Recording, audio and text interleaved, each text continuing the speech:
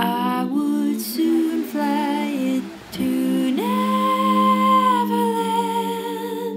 Time would fall faint in its tracks, no threat of it too quickly passing to spend a life